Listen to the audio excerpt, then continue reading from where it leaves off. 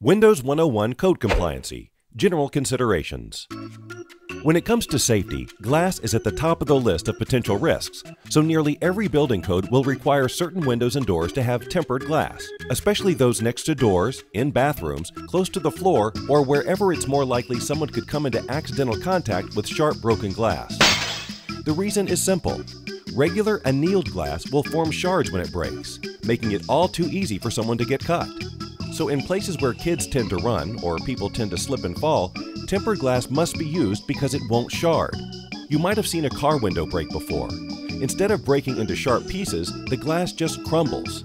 That's why tempered glass is sometimes referred to as safety glass. It will still break, and because it's so strong, it's nothing anyone would want to fall through, but it will break apart in such a way to avoid deep cuts and lacerations.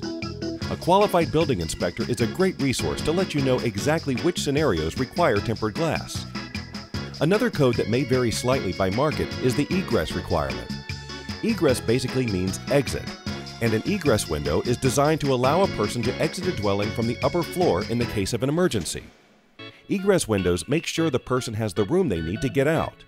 They also make it easier for firemen or rescue personnel to get into a home. The standard egress requirement is an open area of 5.7 square feet, but that comes with a minimum width and a minimum height for a sash when the window is open.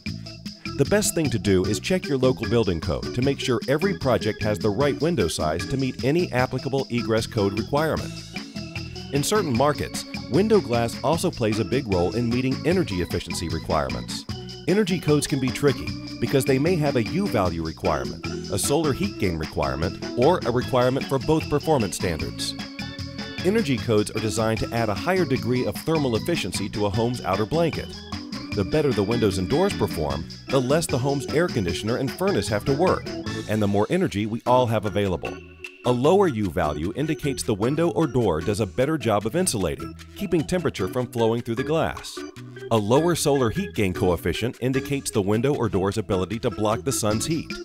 In simple terms, a low emissivity glass, low E glass, will reflect the sun's heat away from the home in the summer and the furnace's heat back into the home in the winter. Both of these values should be clearly visible on each product on a prominently placed label. Each area of the country could have different requirements or recommendations for thermal efficiency. In the north, for example, many people want the sun's heat to come through in the winter, so they don't want a low solar heat gain number. And they want the cold to stay out, so they may prefer a low insulating U value. By contrast, a home in the heat of the Gulf Coast or southern Texas would probably have better energy efficiency with windows that do have a low solar heat gain number, windows that block more of the sun's heat from penetrating through the glass. Specific energy codes are intended to put logical requirements on the materials you put into a home. Because these can change dramatically from one area to the next, get to know your local requirements, as well as the thermal properties of the windows and doors you sell. It is common for a window to fail to meet code with a standard glass package, but that same window might become code compliant if you add a low E coating.